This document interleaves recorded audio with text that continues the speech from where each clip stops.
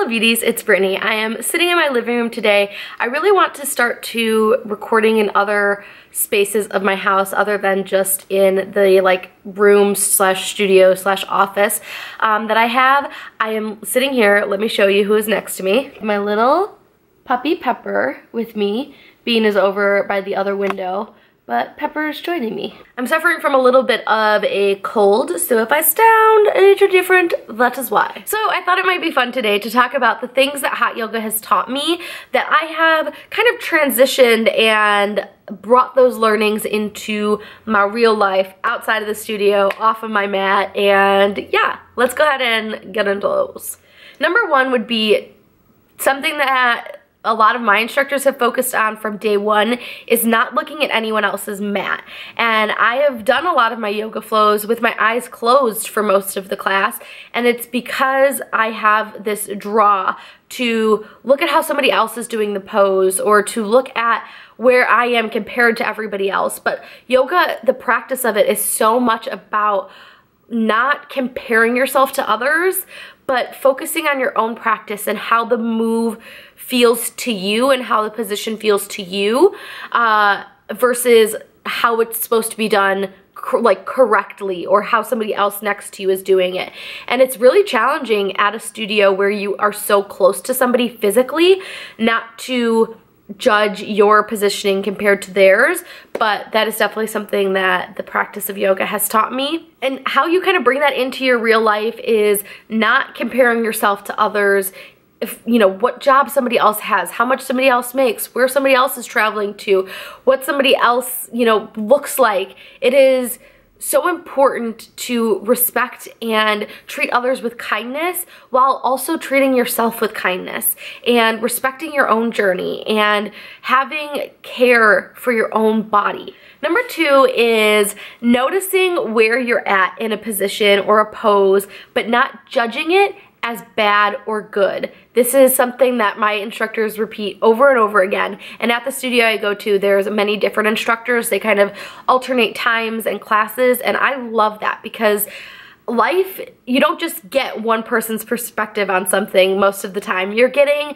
you know, a lot of different inputs. And so it's amazing to have that in my yoga practice as well. So that idea of not giving it a bad or good name tag, name print, you know, stamp is so beautiful because your right side is different than your left side. And if you practice yoga, you'll find that one position might be easier on your left or easier on your right. And it can be so easy and it happens so quickly where you just designate your left side as your bad side.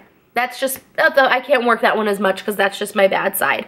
Where if you step back and you just recognize that that is a side that you need to give a little more love to.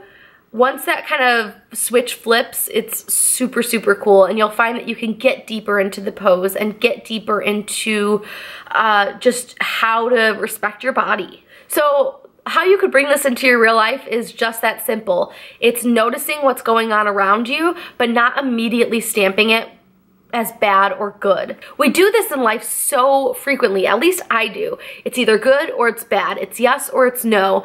And I don't know why we do that. And I it's it's really really difficult to switch out of that but i think it's super super important because once you label something that way it makes it more difficult to change it where if you notice something in your life and you don't label it right away but you process it then you're able to come up with a plan and develop a plan for improving upon that thing. For instance, if you constantly tell yourself that you are a bad cook, then when you go to make yourself dinner, you're not going to enjoy the task. And I'm not saying we all have to become like top number one chefs, but if you go into it with that mindset of this is a bad task, I don't like this task, then ultimately it is going to be bad. But if you go into it with the mindset of you're fueling your body and it's something that you get to do in the day versus something you have to do, then I think that's kind of where that transition happens. Pepper is still lying here so sweetly with me and I love it.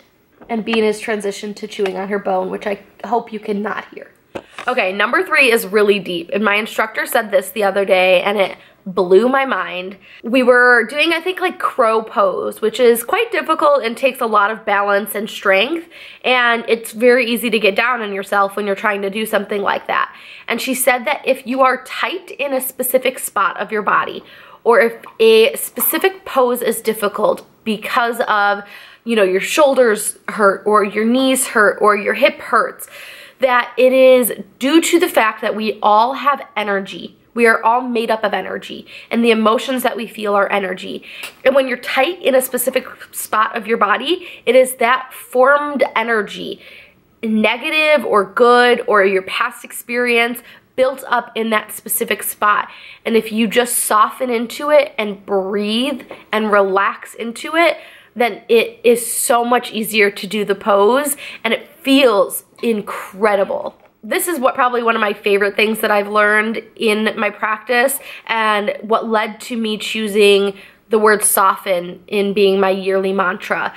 I truly believe that we are all energy and that your body holds on to those things. And when you release those things from your body, your body feels lighter and you are able to do everything in your life more simply. And number four is breath. Yoga is so much about the breath and it's a deep belly breath is what they call it. And it is feeling the breath in your belly, having your belly expand when you breathe out and contract when you breathe in and feeling it there first above your chest. And oh my God, it is life changing. Let me know if you watch This Is Us because I found this such an a magical connection. I had just gone to a yoga class, I was coming home drinking my smoothie, I was watching This Is Us and I'm behind, but there was a part where, I'm not going to mention the specific characters because I don't want to spoil anything, but the thing that was being said was we rush through our life so quickly and we focus so much on just getting through that we forget to take time to focus on the thing that keeps us alive. It's so cheesy, but it's so magical and it's really taught me that my breath has the power to alter my mood, to bring me into a pose, to help me get out of a pose, to help me soften into anything in my life. And this lesson that I've learned of breath is something I'm hoping that I can really bring into every single aspect of my life and that I can focus on a lot more. And I hope that if this video teaches you anything, offers you any kind of advice, it is to take 30 seconds today, put your hand on your stomach, and practice that deep belly breath.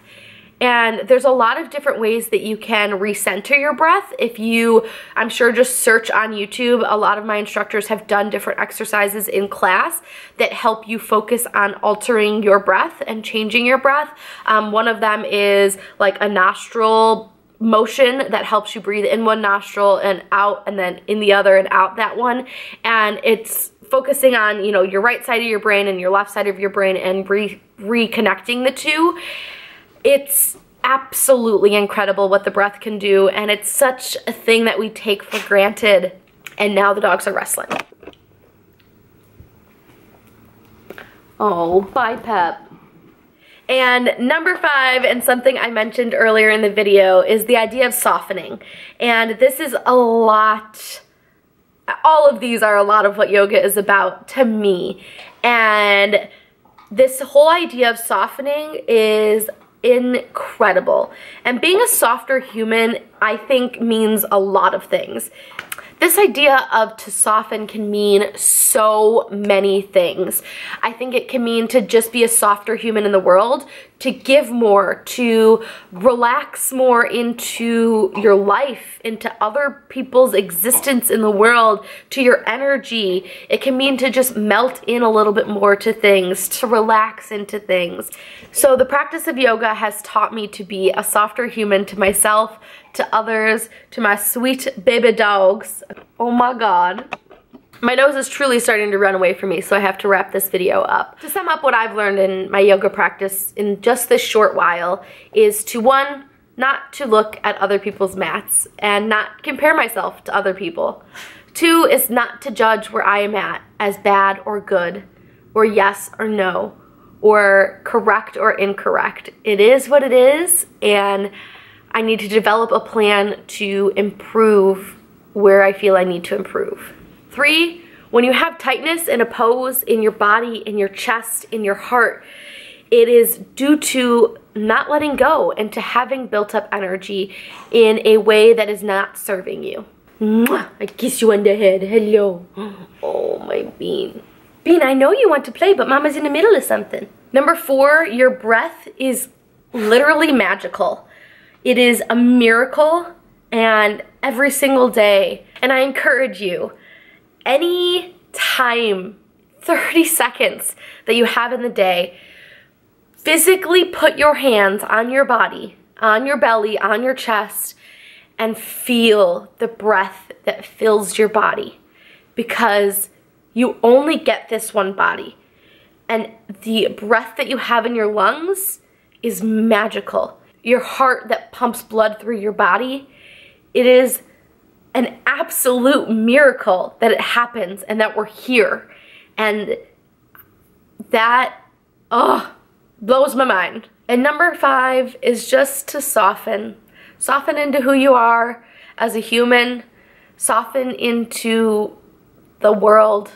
Be softer to other people. Be softer to yourself. I mean, a world where this exists is a magical magical place. I hope you enjoyed me filming in a different space today. It's good to have a different energy, a different space, a different mindset. So, uh, and I hope you enjoyed seeing my dogs. If you didn't, I don't know if I can fully trust you as a human, so if you've ever thought about yoga and were nervous about doing it, I really, really encourage you to try a few classes. I definitely uh, prefer hot yoga just because I like to sweat it out, but whatever you want to do to feel in tune to your body, respect that and love that.